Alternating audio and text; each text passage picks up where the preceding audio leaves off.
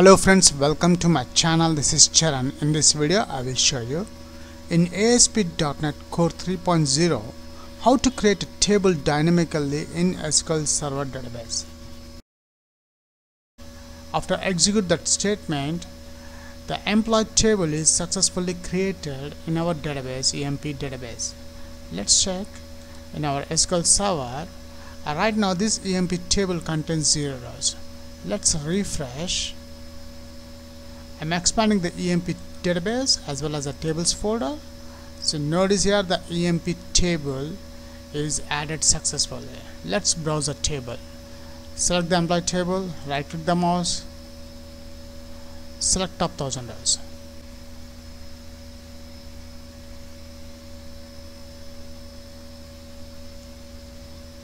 And here we got the results of the employee table. Notice the column names EMP ID, EMP name, email and salary. If you are a first time visitor to my channel, please subscribe to get the latest updates. Before writing the coding part in ASP.NET Core, first we'll create a new database in SQL Server Management Studio. I'm expanding the root folder as well as databases. Now first I'm creating a new database. Right click the root folder, select new query. Let's create a database. Create database. The database name is EMP. The database name is the EMP execute. And here we got a message command completed successfully. Let's refresh the database as refresh. And here we got the EMP database is added successfully to our databases folder. Let's browse this EMP database.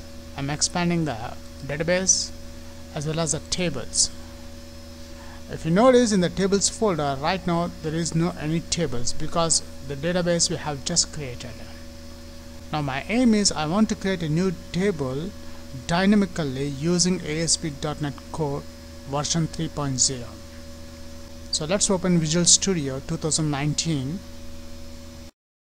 for this video tutorial I'm creating a new ASP.NET Core file new project. And from the projects I'm selecting ASP.NET Core Web Application. Click next. The project name is table dynamically create is my project name and I'm saving this project in the project D location create. And the ASP.NET Core is 3.0 version and I'm selecting web application create.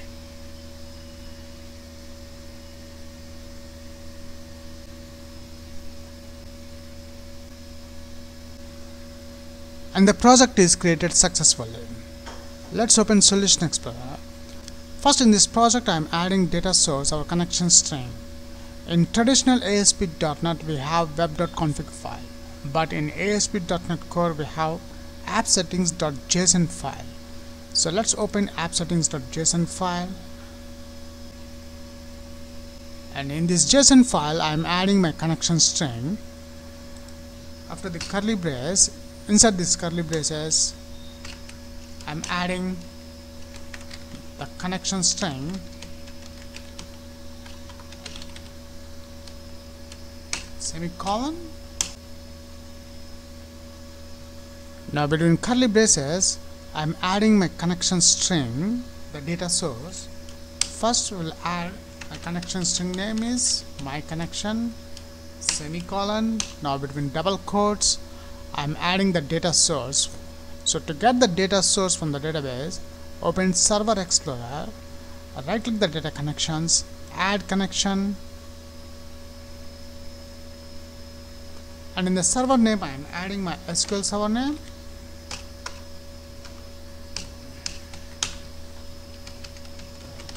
After adding SQL Server name, now I'm selecting the database name.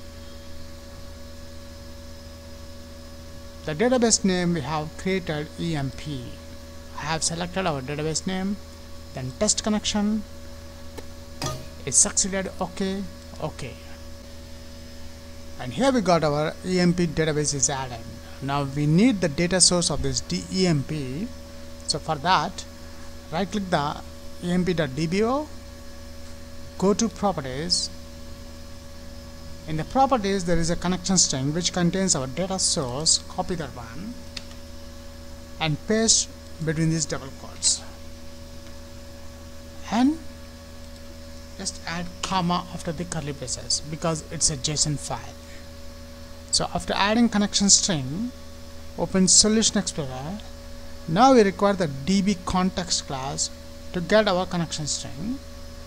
So for that let's create a folder called model select the project name right click the mouse add new folder.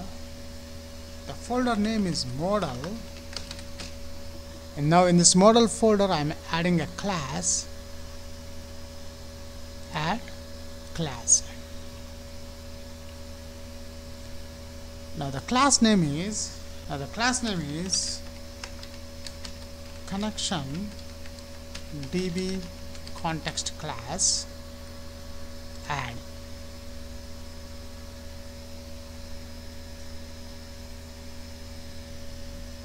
And here we got our connection db context class.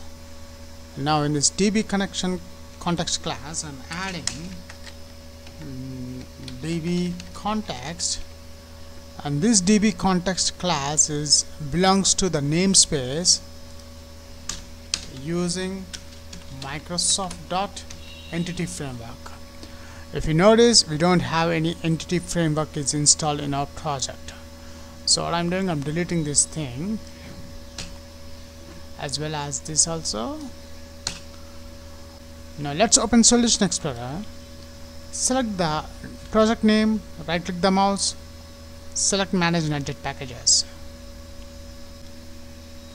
in the browse search for Microsoft. We require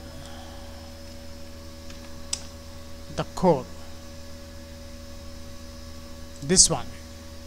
Let's install Microsoft Entity Framework version 3.0.0 let's install. Okay. I accept now it's here installing NuGet packages. It's successfully installed. Go to solution explorer expand the dependencies. Notice here we got the packages. Is installed entity framework. Now we require three more packages. Let's install those also. And the same now in the browser we require entity framework server. Select that one the version 3.0 install click ok I accept.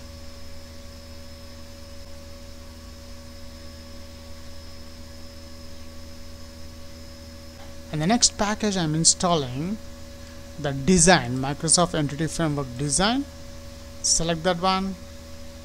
Install. Click OK I accept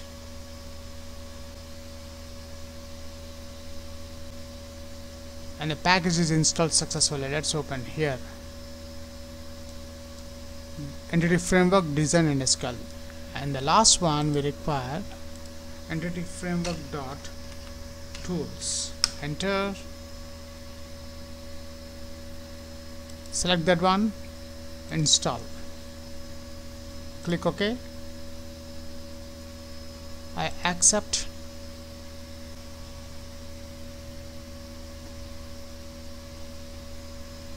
and the package is installed successfully. Let's open solution explorer. If you notice now we got the four packages are added to our project. Now switch to the db context class. Colon db context. So let's add the namespace here using microsoft dot entity framework core. Then db context.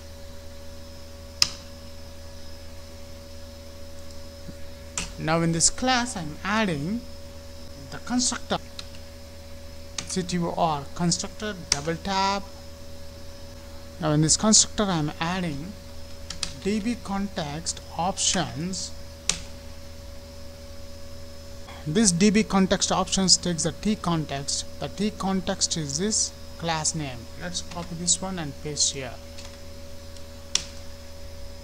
Then options. Colon base options.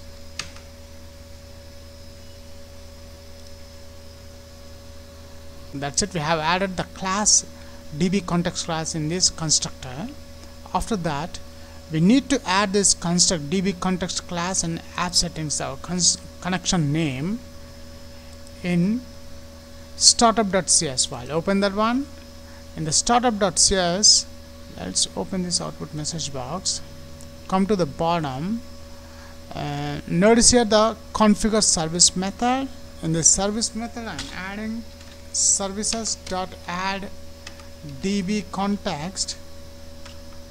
Db so we have to add the namespace using microsoft dot entity framework.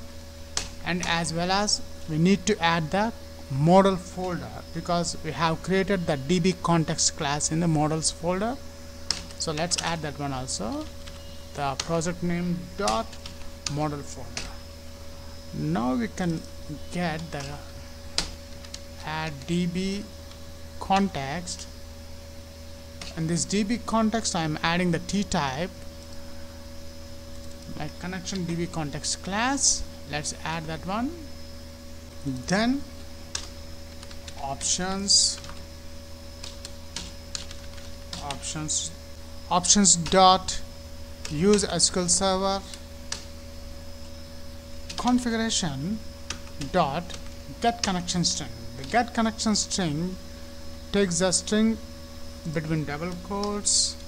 I'm adding my connection string name which is my connection. Copy that one. I'm taking from the app settings.json file. Paste here. Semicolon. Now to create a table let's open solution explorer. In the same models folder in the models folder right click that one. Add class. The class I'm adding employee class. And here we got our employee class. Now in this employee class I'm just defining the properties the column names. PROP property is a shortcut the integer type. The first one is the employee ID the employee ID must be the primary key. So I'm adding the key. The key namespace and the key method is is from the namespace using system.component model.data annotations so let's add the key method. It's a key. Then the second column prop double quote double tab string emp name prop double double tab string email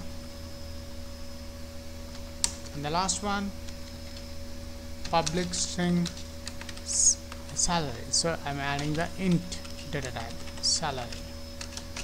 Get set and these are the column names for the table I want to create in the database. So after we have added the properties the column names in this employee class again switch to the con connection db context class. After the constructor I'm adding the prop double tap. This time here I'm adding the db set. Db set the t entity the entity is the column names you are getting from this employee class. So let's add this class name. And the property name is our table name. The table name here employee table. This is our table name. I want to create in this database EMP table. Right now we we don't have any tables here. Let me refresh again I'm expanding the EMP folder tables. See it's showing zero tables. Switch to the Visual Studio. That's it. We have done the coding part. Now let's save this file again. Open tools. Uh, go to NuGet package manager. Package manage console. Open that one. Here. Let's close this one. And package manage console I'm adding add migration add I'm adding the class name employee class. Copy this one. To database. Enter.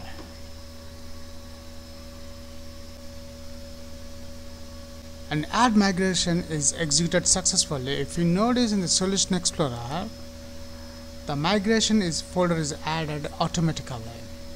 And this is a file name if you notice the create table employee table you have created and the column names EMP ID, EMP name, email, salary. And the PK primary key for the employee ID and now let's update this table to our database. In the same package managed console I'm adding update database enter. Oh sorry. It's update. hyphen database. Enter.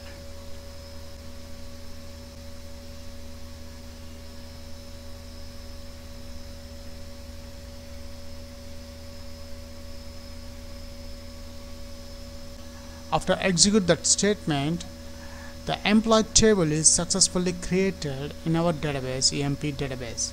Let's check in our SQL server. Uh, right now this EMP table contains 0 rows. Let's refresh. I'm expanding the EMP database as well as the tables folder. So notice here the EMP table is added successfully. Let's browse the table select the employee table right click the mouse select top thousand rows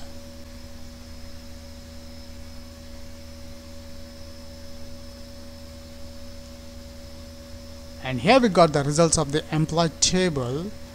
Notice the column names EMP ID, EMP name, email and salary. That's it. We have created the table dynamically using ASP.NET Core 3.0 version